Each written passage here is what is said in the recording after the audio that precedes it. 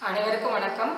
இந்த வீடியோவில் பார்த்தீங்கன்னா ஆரிய ஃப்ரேம் அண்ட் ஸ்டாண்டை எப்படி ஃபிக்ஸ் பண்ணணுன்ட்டு உங்களுக்கு சொல்லித்தர போகிறேன் ஃப்ரேம் ஸ்டாண்டில் சிக்ஸ்டீன் இன்ச்சஸ் இருக்குது எயிட்டீன் இன்ச்சஸ் இருக்குது இது பார்த்தீங்கன்னா சிக்ஸ்டீன் இன்ச்சஸ்ஸு ஸ்டாண்டு அதுக்கான ஃப்ரேமு அதுக்கான ஸ்டாண்டு இந்த இது. இது எயிட்டீன் இன்ச்சஸ்க்கான ஃப்ரேமு ஸ்டாண்டு அதுக்கான லெக்கு இது நாலு லெக்கு உங்களுக்கு பார்த்தீங்கன்னா சின்ன சைஸு ப்ளவுஸில் ஃபுல் அண்ட் ஃபுல்லு கவர் ஆகாது. கொஞ்சம் நெக்கு ரொம்ப டீப் நெக் இருக்கவங்களுக்கு இந்த சின்ன சைஸ் கவர் ஆகுது. பெரிய சைஸ் வாங்கிட்டீங்கன்னா உங்களுக்கு நல்லா யூஸ் ஆகும்.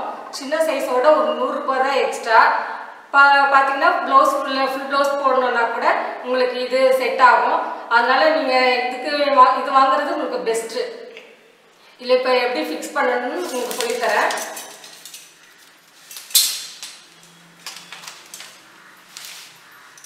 இந்த ஸ்க்ரூ டைப் இருக்கும். இந்த ஸ்க்ரூ அப்படி கழட்டிட்டு நாலு நாலு இடத்துல மாட்டிக்கணும். நாலு லெக்கையும் ஃபஸ்ட்டு மாட்டிக்கணும்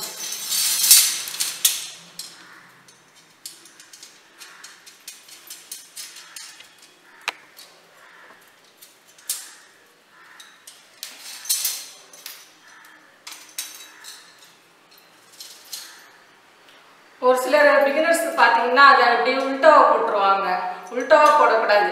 ஏன்னா இதுதான் கரெக்டான பொசிஷன் இந்த பொசிஷனில் போட்டீங்கன்னா தான் கரெக்டாக ஃப்ரேமு இப்படி மா போட்டிங்கன்னா இப்படி மேலே நிற்கும் மாற்றி போட்டிங்கன்னா ஃப்ரேம் செட் ஆகாது. அதனால இந்த டைரக்ஷனில் பா வச்சு போடணும் இந்த ஸ்க்ரூ டைப்பு கீழே இருக்கிற மாதிரி வச்சு நீங்கள் மாட்டணும்.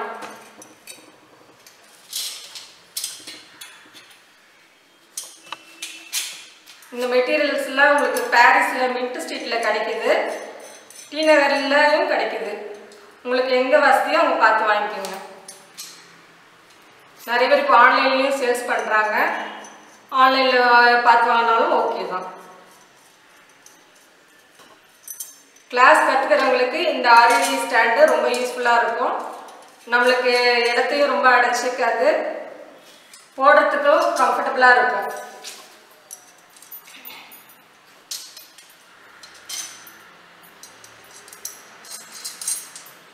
இப்படி நாலு இதுவே நல்லா டைட் பண்ணிட்டு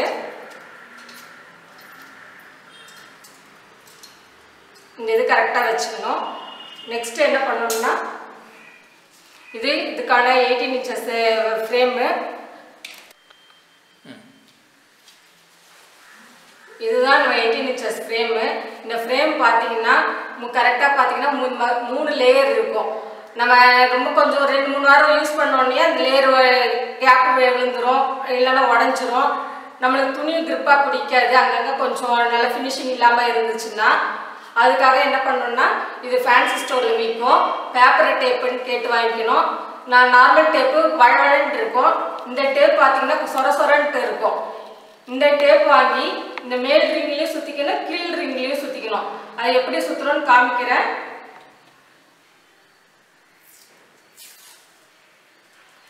இது ஒரு பக்கம் ஸ்டிக்கர் ஒட்டுறது இருக்கும் ஒரு பக்கம் கம் இல்லாமல் இருக்கும்.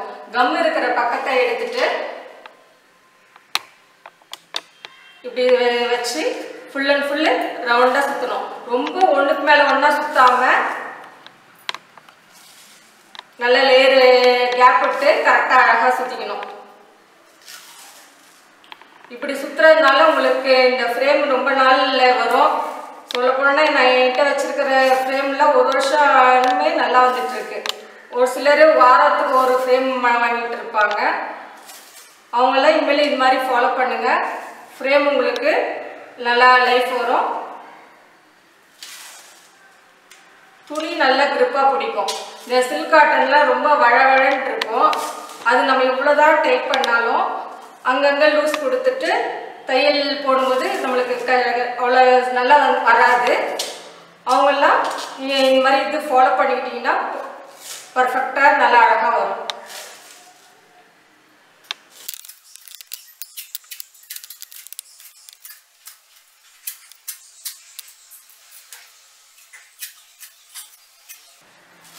இந்த மாதிரி ஃபுல் அண்ட் ஃபுல் கம்ப்ளீட் பண்ணோன்னே கட் பண்ணிவிட்டு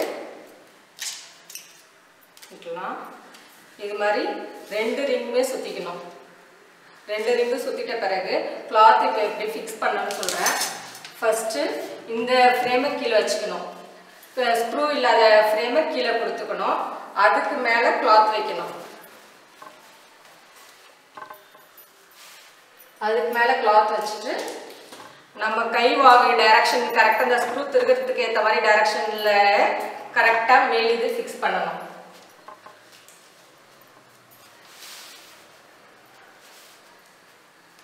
நல்லா ஸ்க்ரூ லூஸ் பண்ணிக்கோங்க.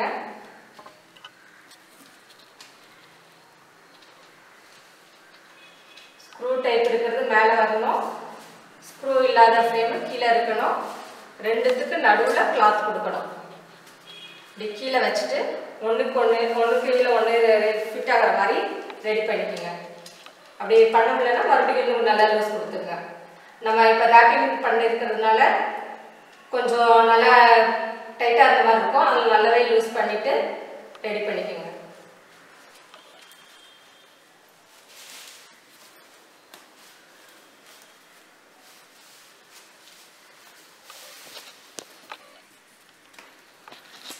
இப்படி ஒன்றுக்கு ஒன்று ஒன்றா ஃபிட் பண்ணிட்ட பிறகு என்ன பண்ணுறீங்கன்னா கொஞ்சம் கொஞ்சமாக எல்லா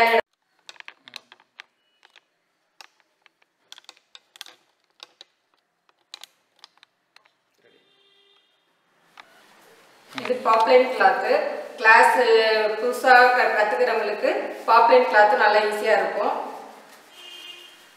இது நம்ம எப்படி இழுத்தாலும் நான் துணி நல்லா லைஃப் வரும். ஆனால் ப்ளவுஸ் பிட்லாம் பார்த்தீங்கன்னா துணி ரொம்ப சாஃப்டாக இருக்கும். அது எப்படி போடணுன்ட்டு நான் உங்களுக்கு சொல்கிறேன் அதில் சில டிப்ஸு கொஞ்சம் ஃபாலோ பண்ணிட்டீங்கன்னா கொஞ்சம் நல்லா இருக்கும். இப்படி துணி நல்லா ஸ்டிஃபாக வர மாதிரி எல்லா இடமும் கொஞ்சம் கொஞ்சமாக இழுத்து ஃபுல் டைட் கொடுத்துட்ட பிறகு இந்த ஸ்க்ரூ ஃபுல் டைட் கொடுத்துடணும். இந்த ஸ்க்ரூ ஃபுல் டைட் கொடுத்துட்ட பிறகு எக்காரத்தை கொண்டு துணியை இழுக்கக்கூடாது. இதுக்கு ஃபுல் டைட் கொடுத்துட்ட பிறகு துணி இழுத்தீங்கன்னா க- துணி கண்டிப்பாக துணி டேமேஜ் ஆகும். அதனால் இப்படி ஃபாலோ பண்ணணும். நல்லா இவ்வளோ ஸ்டிஃப்னஸ் இருக்கணும். எவ்வளோக்கு எவ்வளோ கிளாத் நல்லா ஸ்டிஃபாக இருக்கோ நம்ம தையல் போடும்போது ரொம்ப ஈஸியாக இருக்கும். இந்த ப்ளவுஸ் மெட்டீரியல் பார்த்தீங்கன்னா சில்க் காட்டனு சில்க் காட்டன் தான் நம்ம மோஸ்ட்லி ப்ளவுஸ்க்குலாம் ஃபாலோ பண்ணுவோம்.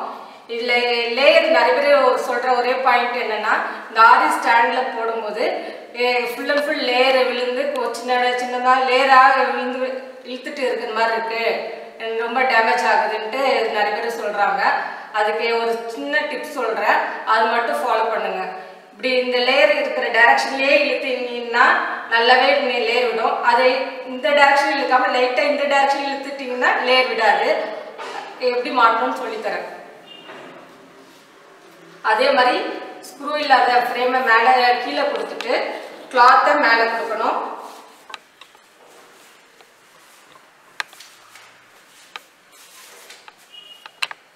அதுக்கு மேலே ஸ்க்ரூ இருக்கிற ஃப்ரேம் கொடுக்கணும். அதே மாதிரி முன்னாடி சொன்ன மாதிரியே நல்லா லூஸ் பண்ணிக்கோங்க.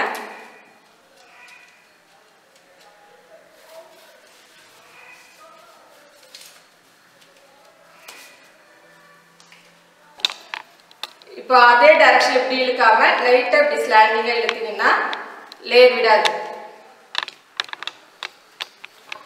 நம்ம ப்ளவுஸ் போடும்போது ஒரு வாட்டி நம்ம ஃபிட் பண்ணிட்டோம்னா அந்த சைடு ஃபுல்லாக அந்த ஒர்க்கை கம்ப்ளீட் பண்ண பிறகு தான் கழட்டி எடுக்கணும். நீங்கள் அடிக்கடி கழட்டி கழட்டி மாட்டினா கூட உங்களுக்கு துணி டேமேஜ் ஆகும். ஒரு பாதி டைட் கொடுத்துட்டு நான் ஃபுல்லாக ஃபுல் டைட் பண்ணுறேன்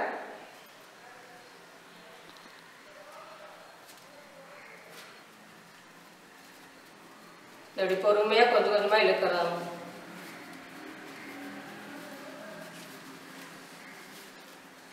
நம்ம கடையில் வாங்குற ஃப்ரேம் பார்த்தீங்கன்னா ஒரு சைடில் கேப் ரொம்ப ஜாஸ்தியாக இருக்கும் ஒரு சைடில் நல்லா இருந்த மாதிரி இருக்கும்.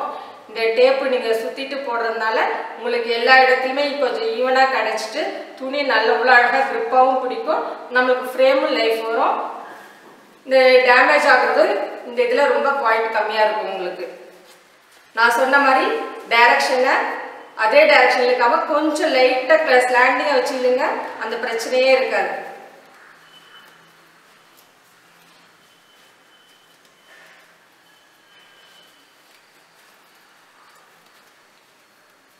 இப்படி கரெக்டாக இழுத்துட்டு ஃபுல் டைட்டாக ஆன பிறகு இங்கே ஃபுல் ஸ்க்ரூவை டைட் பண்ணிடணும் அதுக்கப்புறம் கிளாத் இழுக்கக்கூடாது. நம்ம ஏற்கனவே ரெடி பண்ணி வச்சிருக்க ஸ்டாண்டு மேலே இந்த ஸ்க்ரூ இந்த கம்பிக்குள்ளே இந்த இது கரெக்டாக ஃபிட் ஆகும். இப்போ மேலே வச்சோன்னா பார்த்தீங்கன்னா ரொம்ப லூஸாக இருக்குது லைட்டாக எடுத்தாலே வந்துற மாதிரி இருக்குது அதுக்கு என்ன பண்ணணும்னா இந்த இதை இப்படி கவுத்தி போட்டுட்டு இங்கே ஒரு ஸ்க்ரூ டைப் அட்ஜஸ்ட்மெண்ட்டுக்கு ஸ்க்ரூ டைப் கொடுத்துருப்பாங்க. அதை இங்கெல்லாம் பார்த்தீங்கன்னா இவ்வளோ கேப் இருக்குன்னு பாருங்கள் இப்போ இவ்வளோ கேப் இருக்கிறதுனால தான் நம்மளுக்கு கரெக்டாக ஃபிட் ஆகாமல் லூஸாக இருக்கும் உடனே உடனே டக்குன்னு ஈஸியாக மேலே எடுக்க முடியுது. அதுக்கு என்ன பண்ணணும்னா இந்த ஸ்க்ரூவை லைட்டாக அப்படி லூஸ் பண்ணிவிட்டு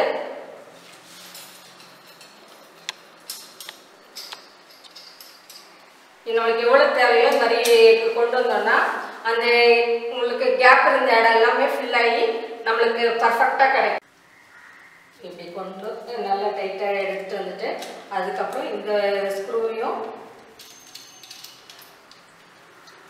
நம்மளுக்கு தேவைக்கு ஏற்ற மாதிரி டைட் பண்ணிட்டீங்கன்னா இப்போ முன்னாடி எவ்வளோ கேப் இருந்துச்சு இப்போ எவ்வளோ கேப் கம்மியாக இருக்குன்னு பாருங்கள் இதுக்கு மாதிரி எவ்வளோ டைட் வேணுமோ நம்ம இது மாதிரி அட்ஜஸ்ட் பண்ணுறது ரொம்ப ஈஸி மெத்தடு இப்படி நம்ம அட்ஜஸ்ட் பண்ணிட்ட பிறகு அதுக்கப்புறம் மறுபடியும் இப்படி திருப்பி போட்டுட்டு பண்ணிங்கன்னா பார்த்தீங்கன்னா அவ்வளோ ஈஸியாக எடுக்க முடியாது. முன்னாடி ரொம்ப லூஸாக இருந்துச்சு இப்போ கரெக்டாக உள்ளே ஃபிட் ஆகிருக்கும் அவ்வளோ சீக்கிரம் எடுக்க முடியாது உங்களுக்கு. இதான் இந்த மாதிரி தான் ஆரியோ ஸ்டாண்டும் ஃப்ரேமும் ஃபிக்ஸ் பண்ணுற மெத்தடு கிளாத் ஃபிக்ஸ் பண்ணுற மெத்தடு இந்த வீடியோ உங்களுக்கு பிடிச்சிருந்ததுன்னா லைக் பண்ணுங்கள் கமெண்ட் பண்ணுங்கள் ஷேர் பண்ணுங்கள் என்னோட சேனலை மறக்காமல் சப்ஸ்கிரைப் பண்ணுங்கள் பெல் ஐக்கானே கிளிக் பண்ணிக்கோங்க. இந்த மாதிரி இன்னும் நிறைய வீடியோஸ் உங்களுக்கு அப்லோட் பண்ணுறேன்